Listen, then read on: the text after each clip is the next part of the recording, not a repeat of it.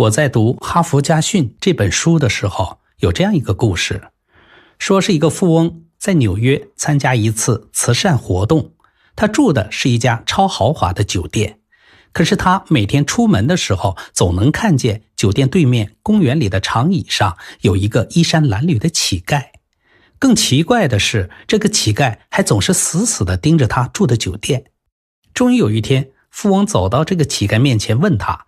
为什么老盯着这边看？乞丐叹了一口气，说：“我呀，没钱，没家，没住宅，只能睡在这张长凳上。不过这个酒店太漂亮了，像天堂一样。我毕生啊，要是有一天能够住进这天堂一样的酒店里，美美的睡上一觉，我也不白活一回啊。所以呢，我总喜欢远远的盯着他看，这看多了，晚上就可以做这样的梦。”那可是一个非常幸福的梦啊！这如此卑微简单的愿望让富翁内心震撼。善良的富翁动了恻隐之心，他立即回到酒店，租了一间最好的房间，而且支付了一个月的房租，让这个乞丐拥有人生最幸福的时光。他把酒店的钥匙放进了乞丐的手里，面对这样慷慨相助，乞丐感动得说不出话来。他难以相信自己的美梦居然可以变成现实。就在几天以后，纽约的慈善活动要结束了，富翁也要走了。他特意去乞丐的房间，想感受一下他如愿以偿的那种幸福。然而，出人意料的是，乞丐已经搬出了酒店，重新回到公园的长椅上。这富翁就感觉很奇怪，去找他，走出酒店。一眼就看到乞丐懒洋洋地躺在长椅上晒太阳呢。他质问乞丐为什么这样做。乞丐很委屈，说：“我呀，睡在长椅上，我就梦见我睡在豪华的酒店里，那个梦妙不可言。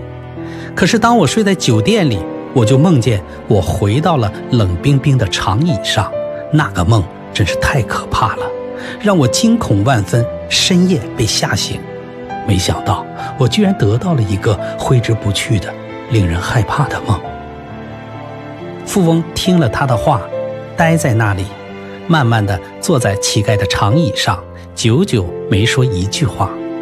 此时，富翁也发现自己的心中也有很多让他害怕的东西。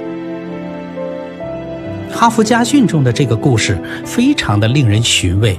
一个人一旦拥有，便害怕失去。其实，我们很多的恐惧和害怕，是因为我们拥有的太多，于是就害怕失去。当一个人一无所有的时候，他的心境很恬淡，没有什么可以让他担心和害怕。一旦拥有了，人们就开始了害怕。当人得到了，就开始害怕失去了。所以，真正的怕是源自于一颗怕失去的贪婪之心。想想看，人出生的时候本来就什么都没有，死的时候什么却都要留下。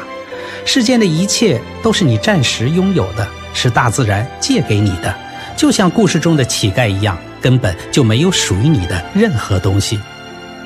一位禅师曾说：“世间的一切都是暂时借给你的，根本就不属于你。”何苦在本不属于你的东西上害得自己愁苦万分呢？所以，无论是否拥有的多与少，都不能因此失去了人生更为宝贵的快乐、健康和时光。所以啊，这人生该拼搏就去拼搏，该奋斗就去奋斗吧，却不要以成败得失论英雄。